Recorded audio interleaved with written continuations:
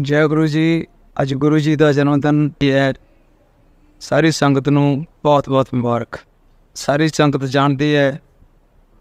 ਗੁਰੂ ਜੀ ਇੱਕ ਮਹਾਨ ਸ਼ਖਸੀਅਤ, ਜੋ ਇਸ ਕਲਯੁਗ ਦੇ ਸਮੇਂ ਵਿੱਚ ਇੱਕ ਛੋਟੇ ਜਿਹੇ ਪਿੰਡ ਦੁਗਰੀ ਵਿੱਚ ਪੈਂਦਾ ਹੈ।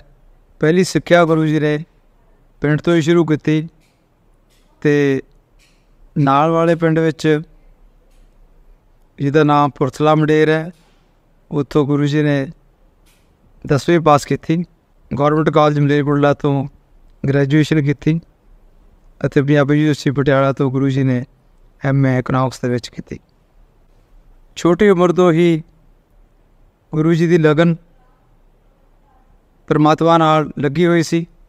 ਸ਼ੁਰੂ ਤੋਂ ਹੀ ਸਕੂਲ ਲੈਵਲ ਤੋਂ ਹੀ ਗੁਰੂ ਜੀ ਦੀ ਲਗਨ ਗੁਰੂ ਨਾਲ, ਉਸ ਪਰਮਾਤਮਾ ਨਾਲ ਲੱਗੀ ਹੋਈ ਸੀ ਜਿਸ ਦਾ ਕਿ ਗੁਰੂ ਜੀ ਦੇ ਟੀਚਰਸ ਇਹਨਾਂ ਨੇ ਗੁਰੂ ਜੀ ਨੂੰ ਪੜਾਇਆ ਉਹਨਾਂ ਨਾਲ ਮੈਨੂੰ ਵੀ ਮਿਲਣ ਦਾ ਮੌਕਾ ਮਿਲਿਆ ਮੈਂ ਵੀ ਗੁਰੂ ਜੀ ਦੇ ਪਿੱਛੇ ਹੀ ਪੜਦਾ ਰਿਹਾ।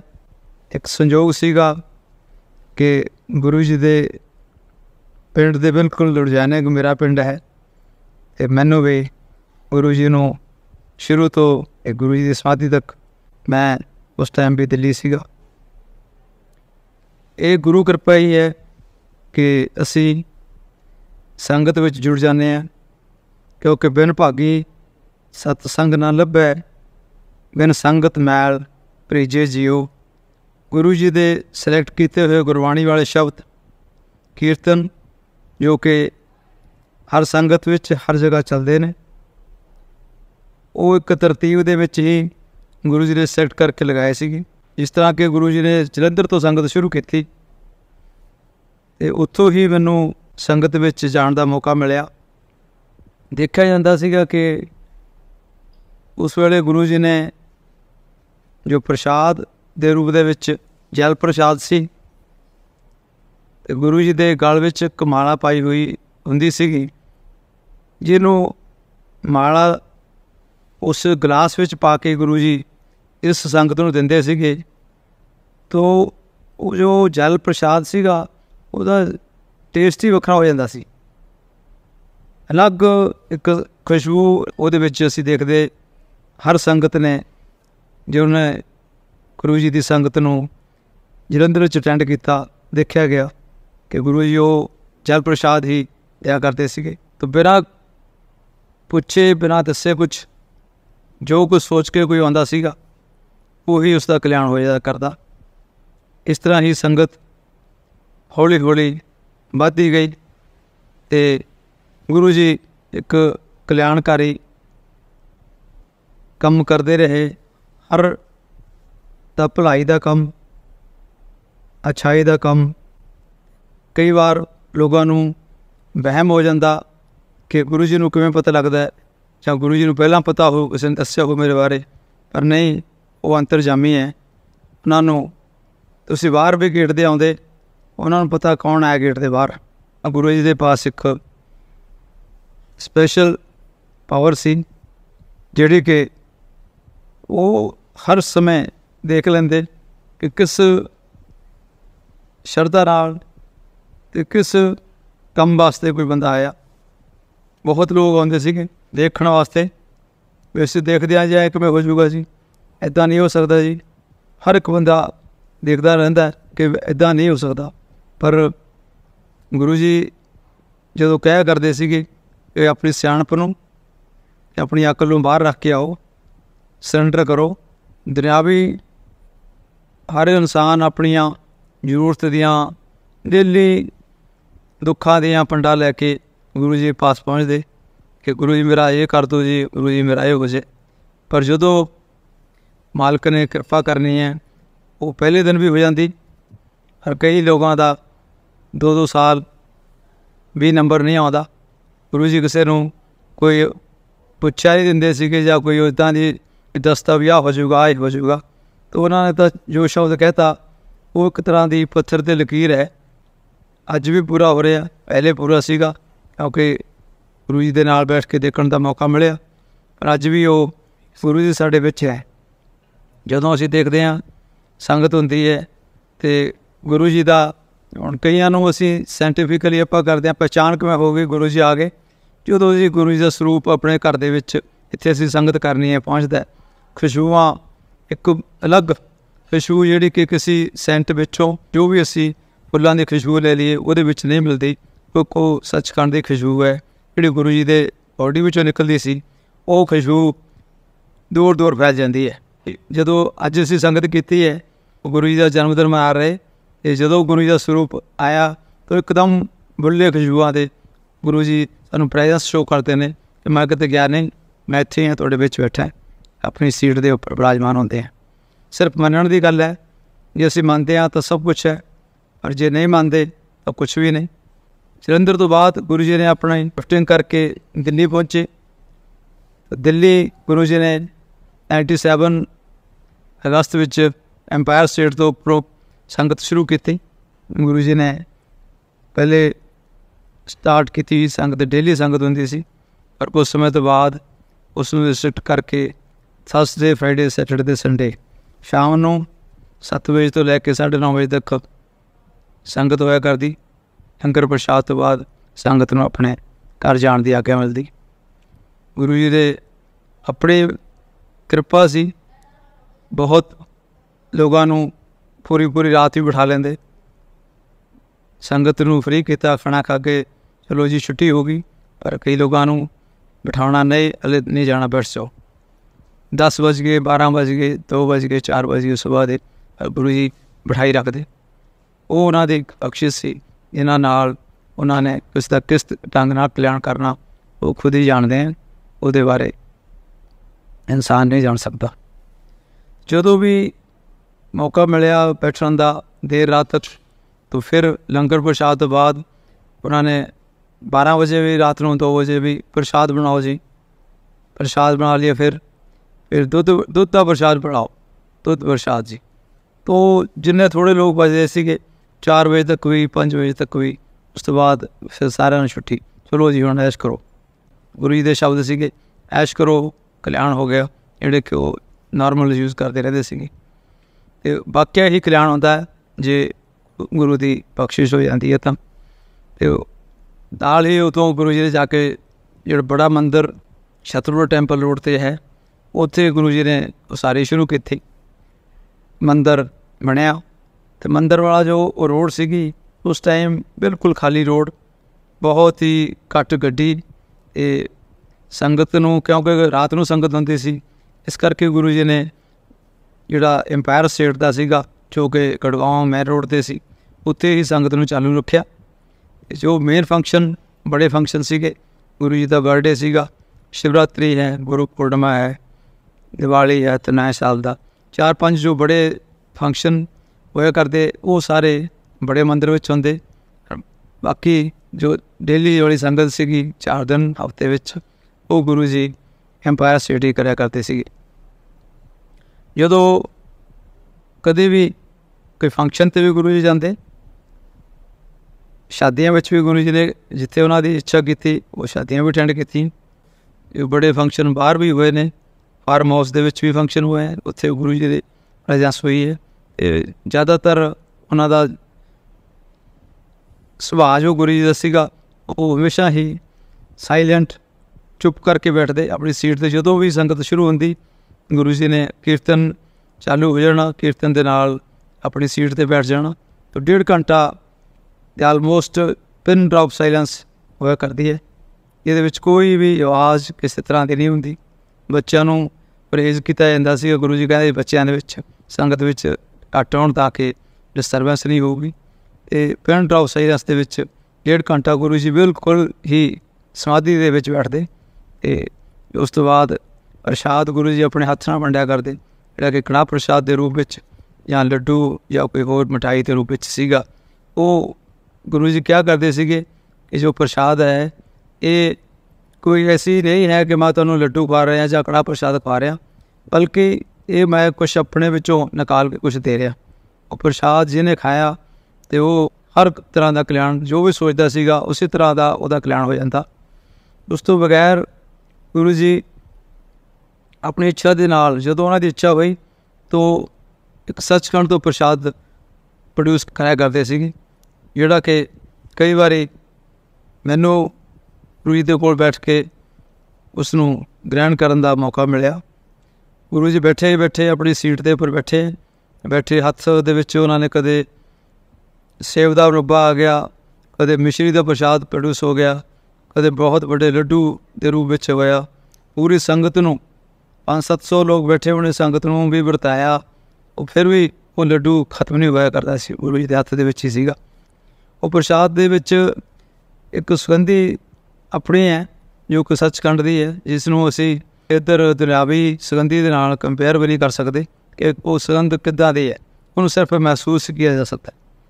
ਉਹ ਸੱਚਖੰਡ ਦੇ ਵਿੱਚੋਂ ਪ੍ਰਸ਼ਾਦ ਗੁਰੂ ਜੀ ਕਈ ਵਾਰ ਪ੍ਰੋਡਿਊਸ ਕਿਆ ਕਰਦੇ, ਸੰਗਤ ਨੂੰ ਦੇਖਦੇ ਵੀ ਬੈਠੇ ਆ ਗੁਰੂ ਜੀ ਦੇ ਉੱਤਰ ਪ੍ਰਸ਼ਾਦ ਆ ਰਿਹਾ ਇਸੇ ਤਰ੍ਹਾਂ ਹੀ ਜਦੋਂ ਗੁਰੂ ਜੀ ਦਾ ਕਿਰਪਾ ਹੋਣੀ ਤਾਂ ਉਹਨਾਂ ਨੇ ਕਹਿਣਾ ਅੱਜ ਦੇਖੋ, ਇੰਨੇ ਸਰੂਪ ਉੱਤੇ ਲੱਗੇ ਹੋਏ ਸੀਗੇ ਮੰਤਰ ਦੇ ਵਿੱਚ, ਤੇ ਹਰ ਇੱਕ ਵਿੱਚੋਂ ਅੰਮ੍ਰਿਤ ਵਰਸ਼ਣ ਸ਼ੁਰੂ ਹੁੰਦਾ ਸੀਗਾ। ਸਭ ਲੋਕ ਉੱਠ ਕੇ ਜਾ ਕੇ ਦੇਖ ਕੇ ਈਵਨ ਜੋ ਸ਼ੀਸ਼ਾ ਜਿਸ ਕੇ ਸਰੂਪ ਦੇ ਉੱਪਰ ਲੱਗਿਆ ਸ਼ੀਸ਼ੇ ਦੇ ਉੱਪਰ ਉਹਦੇ ਵੀ ਅੰਮ੍ਰਿਤ ਵਰਸਦਾ ਸੀ ਹਰ ਇੱਕ ਬੰਦਾ ਹੱਥ ਲਾ ਲਗਾ ਦੇਖਦਾ ਤੇ ਬਾਕੀ ਉਹ ਆਪਣੇ ਹੱਥ ਵੀ ਗੱਲੇ ਹੋਣੇ ਪਲੱਸ ਤੁਹਾਡੇ ਜਿਹੜੇ ਸੀਗੇ ਉਹ ਚੋਂ ਖੁਸ਼ਬੂਆਂ ਨਿਕਲਦੀਆਂ ਜਿਹੜੀਆਂ ਕਿ ਗੁਰੂ ਜੀ ਦੀ ਬਾਡੀ ਵਿੱਚ ਖੁਸ਼ਬੂ ਨਿਕਲਦੀ ਸੀ ਉਹ ਵੀ ਖੁਸ਼ਬੂ ਅੰਮ੍ਰਿਤ ਵਿੱਚ ਹੋਈ ਵਰਸਦੀ ਹੈ ਅੱਜ ਵੀ ਹੈ ਅੱਜ ਵੀ ਕਈ ਸੰਗਤ ਦੇ ਵਿੱਚ ਦੇਖਿਆ ਤੇ ਉਹ ਆਪਣੇ ਸੱਚਖੰਡ ਦੇ ਵਿੱਚੋਂ ਜਿਹੜੀ ਅੰਮ੍ਰਿਤ ਧਾਰਾ ਹੈ ਅੰਮ੍ਰਿਤ ਵਰਸ਼ਾ ਉਹ ਅੱਜ ਵੀ ਹੋ ਰਹੀ ਹੈ ਪਰ ਉਹ ਦੇਖਣ ਦੇ ਇਹ ਵੀ ਤੁਹਾਡੀ ਦੇਖਣ ਵਾਲੀ ਅੱਖ ਹੋਣੀ ਚਾਹੀਦੀ ਆ ਤੇ ਸ਼ਰਧਾ ਹੋਣੀ ਚਾਹੀਦੀ ਹੈ। ਖੁਸ਼ਬੂ ਵੀ ਜਿਹੜੀ ਸੱਚਖੰਡ ਵਾਲੀ ਹੈ, ਤਾਂ ਹੀ ਮਹਿਸੂਸ ਕੀਤੀ ਜਾਊਗੀ, ਜੇ ਤੁਸੀਂ ਗੁਰੂ ਜੀ ਨਾਲ ਜੁੜੇ ਹੋ ਸਰੈਂਡਰ ਕੀਤਾ ਹੋਇਆ। ਅਦਰਵਾਈਜ਼ ਹਮੇ ਮੇਰੇ ਵਿੱਚ ਤੇ ਮੈਂ ਮੈਂ ਕਰੀ ਜਾਵਾਂ, ਮੈਂ ਮੈਨੂੰ ਆਗੇ ਦੂਸਰੇ ਨੂੰ ਨਹੀਂ, ਐਸਾ ਨਹੀਂ ਹੈ। ਗੁਰੂ ਜੀ ਨੇ ਹਰ ਇੱਕ ਦਾ ਕਲਿਆਣ ਕਰਨ ਦੀ ਕੋਸ਼ਿਸ਼ ਕੀਤੀ ਹੈ। ਜੋ ਵੀ ਆ ਗਿਆ ਉਹਨਾਂ ਦੇ ਮੰਦਰ ਵਿੱਚ, ਤੇ ਉਹਦਾ ਕਲਿਆਣ ਹੋ ਜਾਂਦਾ ਗੁਰੂ ਜੀ ਸਪੈਸ਼ਲ ਇਹ ਕਿਹਾ ਕਰਦੇ ਸੀ ਕਿ ਬੜੇ ਮੰਦਰ ਵਿੱਚ ਬਹੁਤ ਸ਼ਕਤੀ ਹੈ। ਜੋ ਵੀ ਜੋ ਸੋਚਦਾ ਉਹਦਾ ਕਲਿਆਣ ਹੋ ਜਾਊਗਾ। ਉਹ ਅੱਜ ਵੀ ਹੈ ਤੇ ਅੱਜ ਦੇਖਣ ਤੋਂ ਬਾਅਦ ਗੁਰੂ ਜੀ ਦੇ ਸਮਾਧੀ ਲੈਣ ਤੋਂ ਬਾਅਦ ਉਹ ਮੰਦਰ ਦੇ ਵਿੱਚ ਇੰਨੀ ਜ਼ਿਆਦਾ ਭੀੜ ਹੋ ਗਈ ਕਿ ਤੁਹਾਨੂੰ ਐਂਟਰ ਕਰਨਾ ਮੁਸ਼ਕਲ ਹੋ ਜਾਂਦਾ ਹੈ। 24 ਘੰਟੇ ਲਾਈਨਾਂ ਵਿੱਚ ਲੱਗ ਕੇ ਲੋਕਾਂ ਨੂੰ ਸਿਰਫ ਇੱਕ ਦਰਸ਼ਨ ਹੀ ਹੁੰਦੇ ਨੇ ਗੁਰੂ ਜੀ ਦੇ। ਔਰ ਮੱਥਾ ਟੇਕਣ ਦੀ ਵੀ ਉੱਥੇ ਟਾਈਮ ਨਹੀਂ ਮਿਲਦਾ ਕਿ ਨੀਚੇ ਝੁੱਕ ਕੇ ਮੱਥਾ ਟੇਕਿਆ ਜਾਵੇ, ਇੰਨਾ ਅੱਜ ਦੇ ਡੇਟ ਵਿੱਚ ਰਸ਼ ਹੋ ਰਿਹਾ। ਅੱਜ ਦਾ ਗੁਰੂ ਜੀ ਦਾ ਜਨਮ ਦਿਨ ਪੂਰੇ ਵਰਲਡ ਦੇ ਵਿੱਚ ਮਨਾਇਆ ਜਾ ਰਿਹਾ। ਹਰ ਘਰ ਦੇ ਵਿੱਚ ਅੱਜ ਸੰਗਤ ਹੋ ਰਹੀ ਹੈ। ਗੁਰੂ ਜੀ ਦੇ ਖੁਸ਼ੀਆਂ, ਗੁਰੂ ਜੀ ਦਾ ਆਸ਼ੀਰਵਾਦ ਲੋਕ ਲੈ ਕੇ ਆਪਣੇ ਆਪਣੇ ਘਰਾਂ ਦੇ ਵਿੱਚ ਬਹੁਤ ਹੀ ਆਨੰਦ ਮਾਣ ਰਹੇ ਨੇ। ਜਦੋਂ ਗੁਰੂ ਜੀ ਲਾਈਵ ਫਿਜ਼ੀਕਲੀ ਵਿੱਚ ਬੈਠਦੇ ਸੰਗਤ ਦੇ ਵਿੱਚ ਵੀਡੀਓ ਉਹ ਰੌਣਕਾਂ, ਚਾਹੇ ਉਹ ਸਾਰਾ ਕੁਝ ਉਵੇਂ ਚੱਲ ਰਿਹਾ। ਸਾਰਾ ਸਿਸਟਮ ਵੀ ਚੱਲ ਰਿਹਾ। ਪਰ ਜਿਹੜੀ ਅਸੀਂ ਇੱਕ ਉਹਨਾਂ ਨੂੰ ਟੱਚ ਕਰਦੇ ਸੀ, ਉਹਨਾਂ ਦੇ ਨਾਲ ਬੈਠ ਕੇ ਸਾਹਮਣੇ ਸਾਹਮਣੇ ਗੱਲ ਹੁੰਦੀ ਸੀਗੀ, ਉਹ ਜ਼ਰੂਰ ਮਿਸਿੰਗ ਹੈ, ਜਿਹੜੀ ਕਿ ਇੱਕ ਖਲਾ ਵਿੱਚ ਪਿਆ ਰਹਿੰਦਾ ਅਦਰਵਾਈਜ਼ ਜਦੋਂ ਫੀਲਿੰਗ ਕਰਦੇ ਆ ਤਾਂ ਉਹ ਫੀਲ ਕਰਦੇ ਆ ਤਾਂ ਉਹ ਆਪਣੀ ਸੀਟ ਤੇ ਬਿਰਾਜਮਾਨ ਹੈ, ਬੈਠੇ ਆ ਅਸੀਂ ਦਿੰਦੇ ਆ ਉਹਨਾਂ ਦਾ ਸਾਰਾ ਜਿਹੜਾ ਪ੍ਰਵਾਹ, ਉਹ ਸਭ ਕੁਝ ਚੱਲ ਰਿਹਾ ਹੈ। ਪਰ ਇਹ ਘਾਟ ਮਹਿਸੂਸ ਹੀ ਹੁੰਦੀ ਹੈ ਕਿ ਉਹਨਾਂ ਨਾਲ ਬੈਠ ਕੇ ਫਿਜ਼ੀਕਲੀ ਜਿਹੜੀ ਗੱਲ ਕਰਦੇ ਸੀਗੇ, ਉਹ ਉਹ ਨਹੀਂ ਹੈ, ਉਹ ਅੱਜ ਮਿਸਿੰਗ ਹੈ। ਔਰ ਗੁਰੂ ਜੀ ਦੀਆਂ ਸਿੱਖਿਆ ਨੇ ਹਰ ਇੱਕ ਇਨਸਾਨ ਨੂੰ ਹਮੇਸ਼ਾ ਹੀ ਉਹਨਾਂ ਨੇ ਭਲਾਈ ਦਾ, ਗੁਰੂ ਜੀ ਕੋਲ ਪਾਵਰਾ ਸੀਗੀਆਂ ਬਹੁਤ ਕਲੋਜ਼ਲੀ ਵਾਚ ਕੀਤਾ ਮੈਨੇ, ਉਹਨਾਂ ਨਾਲ ਕਈ 25 ਸਾਲ ਦੇ ਆਸ-ਪਾਸ ਸੰਗਤ ਅਟੈਂਡ ਕੀਤੀ ਹੈ। ਤੋ ਉਹ ਜੋ ਵੀ ਉਹਨਾਂ ਨੇ ਸ਼ਬਦ ਕਿਹਾ, ਉਹ ਪੂਰਾ ਹੋਣਾ ਤੇ ਹੋ ਰਿਹਾ ਅੱਜ ਵੀ ਹੋ ਰਿਹਾ ਪਰ ਜਿਹੜੀ ਮਿਸਿੰਗ ਹੈ, ਸਿਰਫ ਉਹ ਫਿਜ਼ੀਕਲੀ ਉਹਨਾਂ ਨਾਲ ਗੱਲਬਾਤ ਨਹੀਂ ਹੋ ਰਹੀ ਤੇ ਅਦਰਵਾਈਜ਼ ਜਿਹੜਾ ਉਹਨਾਂ ਦੇ ਵਿੱਚ ਪਾਵਰਾਂ ਨੇ, ਉਹ ਅੱਜ ਵੀ ਨੇ, ਅੱਜ ਵੀ ਕਈ ਜਗ੍ਹਾ ਹੋ ਰਿਹਾ। ਆਪੀ ਸੰਗਤ ਲੁਧਿਆਣੇ ਬਈ ਗੁਰੂ ਜੀ ਦੇ ਜਿਹੜਾ ਸਰੂਪ ਸੀਗਾ ਉਸ ਤੋਂ ਸ਼ਾਇਦ ਨਿਕਲਣ ਲੱਗਿਆ। ਸ਼ਾਇਦ ਨਾਲ ਇਹਨਾਂ ਲੋਕਾਂ ਦਾ ਇਕੱਠ ਹੋ ਗਿਆ ਕਿ ਪੁਲਿਸ ਲਾਉਣੀ ਪਈ ਲੋਕ ਲਗਾਉਣਾ ਪਿਆ ਘਰ ਨੂੰ, ਤਾਂ ਜਾ ਕੇ ਲੋਕਾਂ ਨੂੰ ਕੰਟਰੋਲ ਕਰਨਾ ਪਿਆ। ਹਰ ਇਨਸਾਨ ਦੇਖਣਾ ਚਾਹੁੰਦਾ ਹੈ ਇੱਕ ਕਿਵੇਂ ਹੋ ਸਕਦਾ ਹੈ? ਇੰਪੋਸੀਬਲ ਲੱਗਦਾ ਔਰ ਜਿਹੜਾ ਗੁਰੂ ਜੀ ਦੇ ਡਿਕਸ਼ਨਰੀ ਵਿੱਚ ਸੀਗਾ ਇੰਪੋਸੀਬਲ ਨਾਂ ਦਾ ਸ਼ਬਦ ਹੀ ਨਹੀਂ ਹੈ। ਉਹ ਕਹਿੰਦੇ ਹਰ ਚੀਜ਼ ਪੋਸੀਬਲ ਹੈ। ਚਾਹੇ ਉਹ ਮੈਡੀਕਲ ਖੇਤਰ ਹੋਵੇ, ਚਾਹੇ ਕੋਈ ਸਾਇੰਸ ਜੇ ਕਹਤੀ ਅਸੀਂ ਬਹੁਤ ਤਰੱਕੀ ਕਰ ਚੁੱਕੀ ਹੈ। ਪਰ ਸਾਇੰਸ ਦੇ ਜਿੱਥੇ ਜਾ ਕੇ ਰਸਤੇ ਬੰਦ ਹੋ ਜਾਂਦੇ ਨੇ, ਉੱਥੋਂ ਗੁਰੂ ਜੀ ਦੀ ਸਾਇੰਸ ਸ਼ੁਰੂ ਹੁੰਦੀ ਸੀਗੀ। ਇਵਨ ਡਾਕਟਰ ਜੋ ਆਇਆ ਕਰਦੇ ਸੀਗੇ, ਵੀ ਇਹ ਪੇਸ਼ੈਂਟ ਦਾ ਦੇਖ ਲਿਆ ਜੀ, ਇਹਦਾ ਕੋਈ ਇਲਾਜ ਨਹੀਂ ਹੋ ਸਕਦਾ ਵੈਂਟੀਲੇਟਰ ਦੇ ਵੈਂਟੀਲੇਟਰ ਤੋਂ ਵੀ ਵਾਪਸ ਆਏ ਹੋਏ, ਅਗਲੇ ਹਫ਼ਤੇ ਵਿੱਚ ਉਹ ਗੁਰੂ ਜੀ ਦੇ ਪ੍ਰਸ਼ਾਦ ਨਾਲ ਕਣਕਾ ਕਿਸੇ ਪੇਸ਼ੈਂਟ ਦੇ ਮੂੰਹ ਵਿੱਚ ਪੈ ਗਿਆ। ਤਾਂ ਉਹ ਗੁਰੂ ਜੀ ਦੇ ਅਗਲੇ ਹਫ਼ਤੇ ਦਰਸ਼ਨ ਕਰਨ ਆ ਰਿਹਾ, ਜਿਹੜਾ ਕਿ ਡਾਕਟਰਾਂ ਵੱਲੋਂ ਡਿਕਲੇਅਰ ਕੀਤਾ ਜਾਂਦਾ ਵੀ ਇਹ ਇੰਪੋਸੀਬਲ ਹੈ ਜੀ, ਇਹ ਨਹੀਂ ਆ ਸਕਦਾ। ਤੋ ਗੁਰੂ ਕਿਰਪਾ ਹੀ ਹੈ, ਜੋ ਕੋਈ ਹੋ ਸਕਦੀ ਹੈ, ਉਹ ਆ ਜਿੱਥੇ ਡਾਕਟਰ ਵੀ ਇਹੀ ਕਹਿੰਦੇ ਨੇ ਕਿ ਦਵਾਈ ਖਤਮ ਹੋ ਗਈ ਤੇ ਦਵਾ ਜ਼ਰੂਰ ਕੰਮ ਕਰਦੀ ਹੈ। ਉਹ ਦਵਾ ਜੋ ਡਾਕਟਰ ਵੀ ਕਹਿੰਦੇ ਨੇ, ਉਹ ਦਵਾ ਉਹ ਗੁਰੂ ਜੀ ਦਾ ਸ਼ੀਸ਼ਾ ਨੇ, ਜਿਹੜੀ ਉਹ ਮਿਹਰ ਕਰਦੇ ਨੇ ਇਹਦੇ ਨਾਲ ਕਿ ਇਨਸਾਨ ਨੂੰ ਇੱਕ ਨਵੀਂ ਜ਼ਿੰਦਗੀ, ਨਵੀਂ ਲਾਈਫ ਮਿਲਦੀ ਹੈ। ਬਹੁਤ ਐਸੇ ਇਨਸਾਨ ਮਿਲਣ ਵਿੱਚ ਵੀ ਆਏ, ਜਿਨ੍ਹਾਂ ਨੇ ਇਹ ਕਿਹਾ ਕਿ ਬਿਲਕੁਲ ਨਵੀਂ ਜ਼ਿੰਦਗੀ ਹੈ। ਇਧਰ ਕੇ ਇੱਕ ਡਾਕਟਰ ਐਮਪੀ ਸਿੰਘ ਵੀ ਸੀ ਕਿ ਆਇਆ ਕਰਦੇ ਗੁਰੂ ਗੁਰੂ ਜੀ ਦੇ ਪਾਸ। ਉਹਨਾਂ ਦਾ ਨਾਂ ਹੈ ਗੁਰੂ ਜੀ ਨੇ ਮੁੜ ਪਰਤਿਆ ਸਿੰਘ ਰੱਖਿਆ ਹੋਇਆ ਸੀਗਾ। ਉਹਨੂੰ ਕਹਿੰਦੇ ਵਾਪਸ ਆਇਆ। ਵਾਕਈ ਉਹ ਕਹਿੰਦਾ ਮੈਂ ਬਿਲਕੁਲ ਖਤਮ ਹੋ ਗਿਆ ਸੀਗਾ। ਇਹ ਨਵਾਂ ਜਨਮ ਹੈ, ਗੁਰੂ ਕਿਰਪਾ ਨਾਲ ਹੀ ਹੋਇਆ। ਇਦਾਂ ਦੇ ਬਹੁਤ ਐਗਜ਼ਾਮਪਲ ਜਿਹੜੇ ਕਿ ਲਾਈਵ ਦੇਖਣ ਨੂੰ ਮਿਲੇ, ਗੁਰੂ ਜੀ ਦੇ ਨਾਲ ਸੰਗਤ ਦੇ ਵਿੱਚ ਖੜੇ ਹੋ ਕੇ ਸੰਗਤ ਲੋਕਾਂ ਨੇ ਕਰਨੀ। ਦੱਸਣਾ ਆਪਣੇ ਐਕਸਪੀਰੀਅੰਸ ਵੀ ਆ ਸੀਗਾ ਜੀ ਮੇਰਾ ਆ ਇਦਾਂ ਹੋਇਆ। ਉਹ ਜਿਹੜੇ ਲਾਈਵ ਐਕਸਪੀਰੀਅੰਸ ਨੇ ਆਪਣੇ ਗੁਰੂ ਜੀ ਦੇ ਬੁੱਕ ਦੇ ਵਿੱਚ ਵੀ ਤੁਸੀਂ ਪੜ੍ਹ ਸਕਦੇ ਹੋ। ਅੱਜ ਇੱਕ ਇਕੱਲੇ ਦਿੱਲੀ ਵਿੱਚ ਜਾਂ ਪੰਜਾਬ ਜਾਂ ਇੰਡੀਆ ਵਿੱਚ ਹੀ ਨਹੀਂ, ਸਗੋਂ ਪੂਰੇ ਸੰਸਾਰ ਵਿੱਚ, ਹਰ ਸ਼ਹਿਰ ਦੇ ਵਿੱਚ ਗੁਰੂ ਜੀ ਦੀ ਸੰਗਤ ਹੋ ਰਹੀ ਹੈ। ਜਿਹੜੇ ਵੀ ਵੱਡੇ ਤੋਂ ਵੱਡੇ ਸਿੱਖੇ ਵਿਗਿਆਨੀ ਨੇ, ਵਿਦਵਾਨ ਨੇ, ਪੜ੍ਹੇ ਲਿਖੇ, ਤਰਕਸ਼ੀਲ ਨੇ, ਸਾਰੇ ਹੀ ਦੇਖ ਕੇ ਹੈਰਾਨ ਹੋ ਜਾਂਦੇ ਨੇ ਕਿ ਇਹ ਕਿਦਾਂ ਹੋ ਸਕਦਾ ਹੈ। ਪਰ ਜਿਹੜੀ ਕੁਦਰਤ ਵੱਲੋਂ ਗਿਫਟਡ ਮਹਾਂਪੁਰਸ਼ਾਂ ਨੂੰ ਬਖਸ਼ਿਸ਼ ਹੁੰਦੀ ਹੈ, ਉਹਦਾ ਕੋਈ ਅੰਦਾਜ਼ਾ ਨਹੀਂ ਲਗਾਇਆ ਜਾ ਸਕਦਾ। ਉਹ ਮਹਾਂਪੁਰਸ਼, ਅਜਿਹੇ ਮਹਾਂਪੁਰਸ਼ ਨੇ ਜਿਹੜੇ, ਉਹ ਦੁਨੀਆ ਵਿੱਚ ਬਹੁਤ ਰੇਅਰ ਨੇ, ਘੱਟ ਆਉਂਦੇ ਨੇ, ਕਰੋੜਾਂ ਵਿੱਚੋਂ ਕਦੇ ਇੱਕ ਇਹ ਮਹਾਂਪੁਰਸ਼ ਜਨਮ ਲੈਂਦੇ ਨੇ, ਜਿਹੜੇ ਕਿ ਦੁਨੀਆ ਨੂੰ ਤਾਰਨ ਵਾਸਤੇ ਆਉਂਦੇ ਨੇ। ਇਸ ਕਾਲ ਯੁੱਗ ਦੇ ਜਮਾਨੇ ਵਿੱਚ ਅਜਿਹੇ ਮਹਾਂਪੁਰਸ਼ਾਂ ਦੀ ਬਹੁਤ ਹੀ ਘਾਟ ਹੈ। ਪਰ ਇਦਾਂ ਹੀ ਬਹੁਤ ਸੰਤਾਂ ਵੱਲੋਂ ਵੀ ਮੈਨੂੰ ਮਿਲਣ ਦਾ ਮੌਕਾ ਮਿਲਿਆ ਤੇ ਸਾਡੇ ਸੰਤ ਨਾਰਾਇਣ ਸਿੰਘ ਮੋਨੀ ਜੀ, ਬਾਬਾ ਜੀ, ਉਹਨਾਂ ਨਾਲ ਵੀ, ਉਹਨਾਂ ਕੋਲ ਵੀ ਸਿੱਧੀ ਸੀਗੀ ਤੇ ਉਹਨਾਂ ਨੂੰ ਜਦੋਂ ਮੈਂ ਗੱਲ ਕੀਤੀ, ਉਹਨਾਂ ਨੇ ਕਿਹਾ, ਗੁਰੂ ਜੀ ਕੇ ਪਾਸ ਬਹੁਤ ਪਾਵਰ ਹੈ। ਤੇ ਫਿਰ ਗੁਰੂ ਜੀ ਨੇ ਮੈਂ ਕਿਹਾ ਗੁਰੂ ਜੀ, ਉਧਰ ਬਾਬਾ ਜੀ ਆਪਣੇ ਇੱਕ ਸੰਤ ਨਾਰਾਇਣ ਸਿੰਘ ਮੋਨੀ, ਉਹਨਾਂ ਨੇ ਕਿਹਾ, ਹਾਂ, ਉਹਨਾਂ ਕੋਲੇ ਚੰਡੀ ਦੀ ਸਿੱਧੀ ਹੈ, ਉਹਨਾਂ ਕੋਲ ਪਾਵਰ ਹੈ। ਤੇ ਦੇਖਣ ਤੋਂ ਜਦੋਂ ਅਸੀਂ ਦੇਖਦੇ ਹਾਂ ਫਿਜ਼ੀਕਲੀ ਤੋਂ ਚਿਹਰੇ ਵਿੱਚ ਕਿੰਨੀ ਰੌਣਕ ਆ ਜਾਂਦੀ ਹੈ, ਚਿਹਰਾ ਇਹਨਾਂ ਚਮਕਣ ਲੱਗ ਜਾਂਦਾ ਉਹ ਤੁਹਾਨੂੰ ਲੱਗਦਾ ਵੀ ਕੋਈ ਆਮ ਇਨਸਾਨ ਨਹੀਂ ਹੈ, ਸਗੋਂ ਮਹਾਂਪੁਰਸ਼ ਦੇ ਵਿੱਚ ਜੋ ਸ਼ਕਤੀਆਂ ਗੁਰੂ ਸਾਹਿਬ ਵੱਲੋਂ ਮਿਲਦੀਆਂ ਨੇ, ਉਹ ਚਮਕਣ ਲੱਗ ਜਾਂਦੀਆਂ ਨੇ, ਤੇ ਤੁਸੀਂ ਉਹਨਾਂ ਦੇ ਚਿਹਰੇ ਵੱਲ ਇੱਕਦਮ ਦੇਖ ਵੀ ਨਹੀਂ ਸਕਦੇ ਤੇ ਤੁਹਾਨੂੰ ਜਿੱਦਾਂ ਆਉਂਦਾ ਅੱਖਾਂ 'ਚ ਆ ਜਾਂਦੀਆਂ ਨੇ। ਉਹ ਗੁਰੂ ਜੀ ਦੇ ਸਰੂਪ ਦੇ ਚੋ ਜਦੋਂ ਗੁਰੂ ਜੀ ਦੇ ਫਿਜ਼ੀਕਲੀ ਪ੍ਰੈਜ਼ੈਂਟ ਸੀਗੇ, ਉਸ ਵੇਲੇ ਦੇਖਦੇ ਸੀਗੇ ਤੇ ਇੱਕਦਮ ਜਦੋਂ ਗੁਰੂ ਜੀ ਨੇ ਸੰਗਤ ਵਿੱਚ ਆਉਣਾ, ਖੁਸ਼ਬੂਆਂ ਫੈਲ ਜਾਣੀਆਂ। ਹਰ ਜਗ੍ਹਾ ਈਵਨ ਐਮਪਾਇਰ ਸਟੇਟ ਦੇ ਬੈਠੇ, ਉਧਰੋਂ ਅੱਧਾ ਕਿਲੋਮੀਟਰ ਦੂਰ ਗੇਟ ਬਾਹਰਲੇ ਰੋਡ ਤੋਂ ਪਤਾ ਲੱਗ ਜਾਂਦਾ ਸੀਗਾ ਕਿ ਗੁਰੂ ਜੀ ਆਪਣੀ ਸੀਟ ਦੇ ਉੱਪਰ ਬਿਰਾਜਮਾਨ ਹੋ ਗਏ, ਖੁਸ਼ਬੂਆਂ ਉੱਥੇ ਤੱਕ ਆ ਜਾਂਦੀਆਂ ਨੇ। ਅੱਜ ਵੀ ਉਹ ਖੁਸ਼ਬੂਆਂ ਆਂਦੀਆਂ ਨੇ, ਪਰ ਦੇਖਣ ਵਾਲੇ ਇਹ ਹੈ ਕਿ ਅਸੀਂ ਕਿੰਨੇ ਗੁਰੂ ਦੇ ਨਾਲ ਜੁੜੇ ਹੋਏ ਹਾਂ। ਜੇ ਜੁੜੇ ਹੋਇਆ ਤਾਂ ਹੀ ਉਹ ਤੁਹਾਨੂੰ ਖੁਸ਼ਬੂ ਦਾ ਆਨੰਦ ਮਾਣ ਸਕਦੇ ਹਾਂ। ਪਰ ਅਦਰਵਾਈਜ਼ ਲੈਟ ਅਸ ਟਰਾਈ ਵਾਲੇ, ਪਹਿਲਾਂ ਵੀ ਲੋਕ ਬਹੁਤ ਆਉਂਦੇ ਰਹੇ।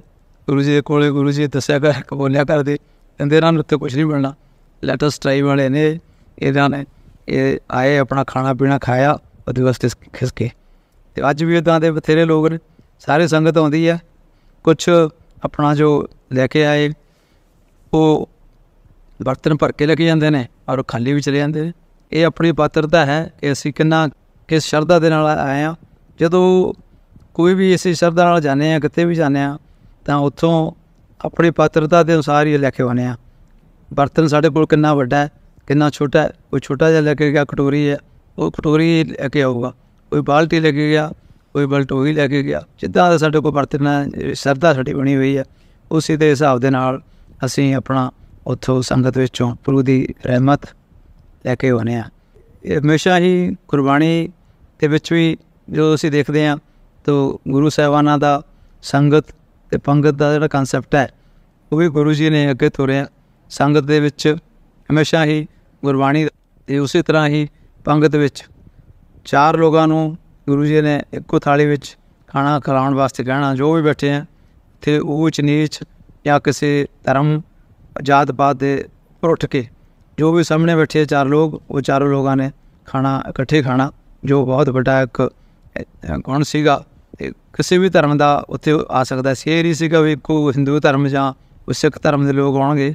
ਉੱਥੇ ਚਾਰੋਂ ਧਰਮਾਂ ਦੇ ਹਰ ਦੇਸ਼ ਦੇ ਵਿੱਚੋਂ ਵਿਦੇਸ਼ਾਂ ਵਿੱਚੋਂ ਵੀ ਆ ਕੇ ਬੈਠਣਾ ਇਹ ਵੀ ਮੈਂ ਤਾਂ ਨੋਟ ਕਰਦਾ ਰਿਹਾ ਕਿ ਜਦੋਂ ਕੋਈ ਅੰਗਰੇਜ਼ ਆਉਂਦੇ ਸੀਗੇ, ਉਹ ਸਾਡੇ ਨਾਲੋਂ ਵੀ ਵੱਧ ਆਨੰਦ ਲੈਂਦੇ ਸੀ ਕੀਰਤਨ ਦਾ। ਅੱਖਾਂ ਬੰਦ ਕਰਕੇ ਇਦਾਂ ਦਾ ਉਹ ਕੀਰਤਨ ਸੁਣਦੇ ਕਿ ਉਹਨਾਂ ਨੂੰ ਲੱਗਦਾ ਸੀ ਕਿ ਉਹ ਕਿਸੇ ਦੂਸਰੇ ਜਹਾਨ ਵਿੱਚ ਚਲੇ ਗਏ ਹੋਣ।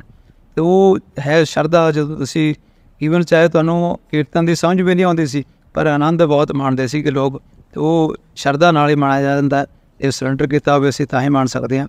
ਇਹ ਅੱਜ ਵੀ ਜਦੋਂ ਕੀਰਤਨ ਚੱਲਦਾ ਉਹਦੇ ਵਿੱਚ ਸਾਨੂੰ ਅੱਧਾ ਘੰਟਾ, ਡੇਢ ਘੰਟਾ ਜਿਹੜਾ ਹੈਗਾ, ਉਹ ਪਿੰਨ ਡਰਾਪ ਸਾਇਲੈਂਸ ਦੇ ਨਾਲ ਆਪਣੇ ਮਨ ਵਿਰਤੀ ਇਕਾਗਰ ਕਰਕੇ ਹੀ ਸੁਣਨਾ ਚਾਹੀਦਾ ਅੱਜ ਦੀ ਡੇਟ ਜੋ ਸੰਗਤ ਕਰਦੇ ਆ ਥੋੜੀ ਜਿਹੀ ਉਹਦੇ ਵਿੱਚ ਜਿਵੇਂ ਸਮੇਂ ਦੇ ਨਾਲ ਕੋਈ ਕ੍ਰਿਤੀਆਂ ਹੁੰਦੀਆਂ ਨੇ, ਉਹ ਮੈਂ ਐਂ ਵੀ ਕਹਿੰਦਾ ਵੀ ਰਹਿਣਾ ਉਸ ਜਗ੍ਹਾ ਕਿ ਥੋੜਾ ਜਿਹਾ ਖਾਣਾ ਪੀਣਾ ਜਿਹੜਾ ਹੈਗਾ, ਉਹਨੂੰ ਘੱਟ ਕਰਕੇ ਸਾਨੂੰ ਕੀਰਤਨ ਨਾਲ ਜੁੜਨ ਦੀ ਜ਼ਰੂਰਤ ਹੈ।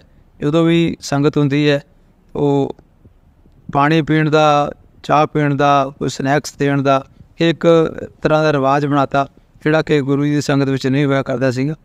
ਪਾਣੀ ਹਮੇਸ਼ਾ ਹੀ ਬਾਹਰ ਹੁੰਦਾ, ਕਦੇ ਵੀ ਪਾਣੀ ਦੇ ਗਲਾਸ ਉੱਥੇ ਸੰਗਤ 'ਚ ਬੈਠੇ ਨਹੀਂ ਮਿਲਦੇ ਕਿਸੇ ਨੂੰ। ਇਹ ਇਦਾਂ ਹੀ ਆ ਸਨੈਕਸ ਦਾ ਜਿਹੜਾ ਹੈਗਾ, ਚਾਹ ਦੇ ਨਾਲ ਸਮੋਸਾ ਪ੍ਰਸਾਦ, ਕਈ ਕਈ ਨੇ ਸਮੋਸਾ ਪ੍ਰਸਾਦ, ਕੋਈ ਮਗਾ ਸਮੋਸਾ ਪ੍ਰਸਾਦ ਗੁਰੂ ਜੀ ਨੇ ਕਦੇ ਨਹੀਂ ਕਿਹਾ, ਨਾ ਕਦੇ ਚਾਲੂ ਕੀਤਾ। ਇਸ ਅਸੀਂ ਖੁਦ ਹੀ ਬਣਾ ਰਹੇ ਹਾਂ, ਇਸ ਚੀਜ਼ਾਂ ਨੂੰ ਅਵਾਇਡ ਕਰਨ ਦੀ ਜ਼ਰੂਰਤ ਹੈ। ਕਿਉਂਕਿ ਜਦੋਂ ਅਸੀਂ ਸੰਗਤ ਵਿੱਚ ਆਏ ਹਾਂ, ਤਾਂ ਸੰਗਤ ਦੇ ਰੂਪ ਦੇ ਵਿੱਚ ਉਸ ਗੁਰਮਰਿਆਦਾ ਦੇ ਸਾਧਨਾ ਹੀ ਕਰਨੀ ਚਾਹੀਦੀ ਹੈ।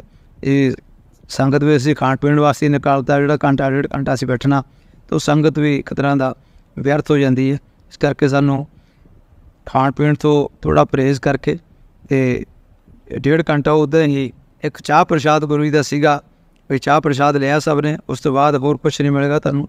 ਡੇਢ ਘੰਟਾ ਗੁਰਬਾਣੀ ਦਾ ਕੀਰਤਨ ਚੱਲੇਗਾ, ਸੰਗਤ ਸਾਰੀ ਆਪਣੀ ਉਹਦੇ ਵਿੱਚ ਜੁੜੇਗੀ ਤੇ ਉਸ ਤੋਂ ਬਾਅਦ ਫਿਰ ਗੁਰੂ ਜੀ ਨੇ ਆਪਣਾ ਪ੍ਰਸ਼ਾਦ ਵੰਡਣਾ ਤੇ ਪ੍ਰਸ਼ਾਦ ਤੋਂ ਬਾਅਦ ਲੰਗਰ ਪ੍ਰਸ਼ਾਦ ਸਾਰਿਆਂ ਨੂੰ ਸਰਵ ਹੁੰਦਾ ਸੀਗਾ।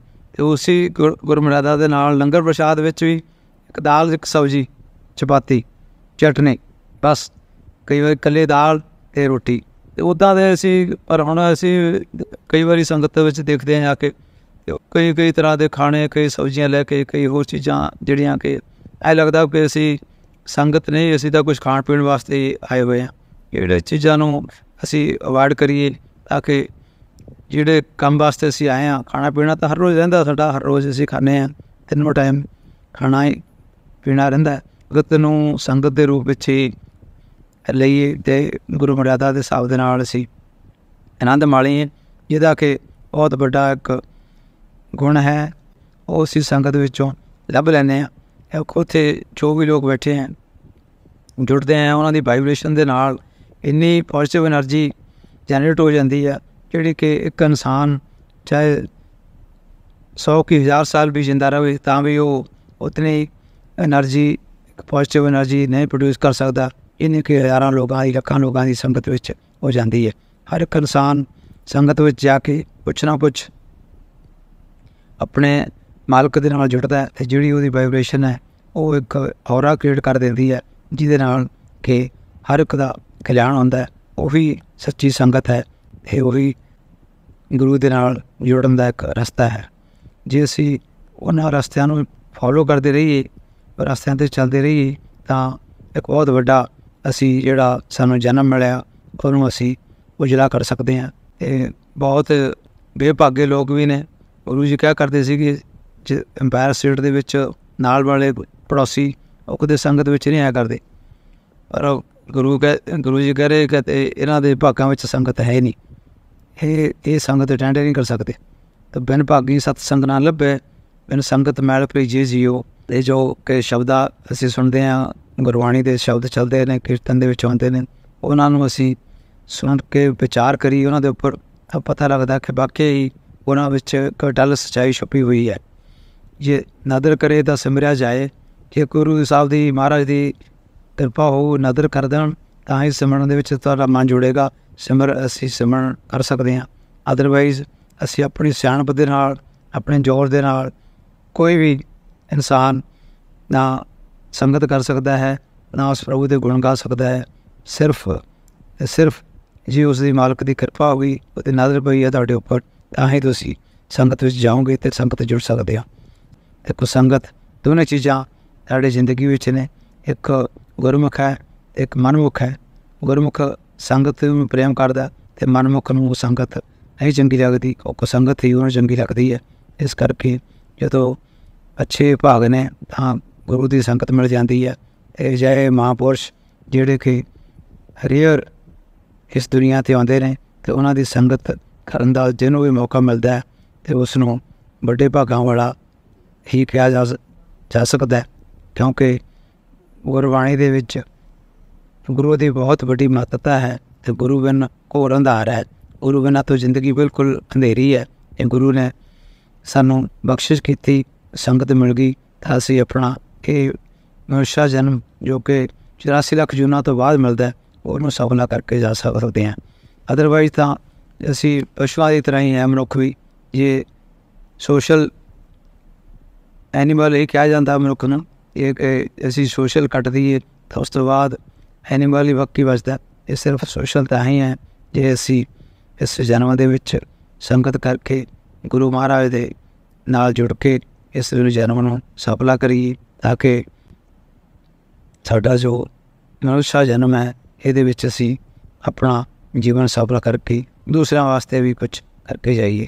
ਹਮੇਸ਼ਾ ਇਹ ਗੁਰੂ ਜੀ ਨੇ ਲੋਕਾਂ ਦੀ ਭਲਾਈ ਵਾਸਤੇ ਅਛਾਈ ਵਾਸਤੇ ਹੀ ਕੰਮ ਕੀਤਾ। ਜੇ ਗੁਰੂ ਜੀ ਦੇ ਪਾਸ ਪਾਵਰ ਮਾਲਕ ਨੇ ਦਿੱਤੀ ਸੀਗੀ, ਉਹ ਕਦੇ ਵੀ ਨਹੀਂ ਦੇਖਿਆ ਗਿਆ ਕਿ ਉਹਨਾਂ ਨੇ ਕਦੇ ਕਿਸੇ ਦੇ ਦੁਰਪਯੋਗ ਕੀਤਾ ਹੋਵੇ ਜਾਂ ਕਿਸੇ ਦੇ ਦੁੱਖ ਦਰਦ ਨੂੰ ਵਧਾਉਣ ਵਾਸਤੇ ਕੀਤਾ ਹੋਵੇ। ਸਗੋਂ ਦੁੱਖ ਦਰਦ ਨੂੰ ਇੱਕ ਮੱਲਮ ਪੱਟੀ ਕਰਨ ਦੀ ਤਰ੍ਹਾਂ ਹੀ ਉਹਨਾਂ ਦਾ ਕੰਮ ਸੀਗਾ। ਜੋ ਵੀ ਆ ਗਿਆ, ਉਥੋਂ ਆਪਣੀ ਝੋਲੀ ਭਰ ਕੇ ਲੈ ਕੇ ਗਿਆ।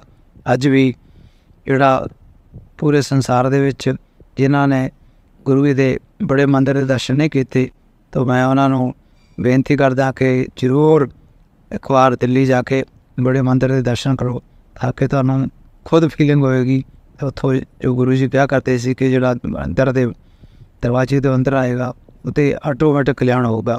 ਤਾਂ ਅੱਜ ਵੀ ਹੋ ਰਿਹਾ ਇਹ ਪੂਰੀ ਸੰਗਤ ਨੇ ਬਹੁਤ ਹੀ ਅੱਜ ਦੇ ਦਿਨ ਦੀਆਂ ਲੱਖ ਲੱਖ ਵਧਾਈਆਂ।